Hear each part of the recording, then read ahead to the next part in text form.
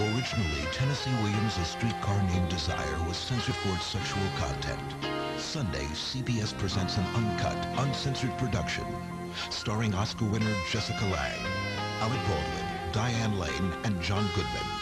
A Streetcar Named Desire, as shocking today as it ever was.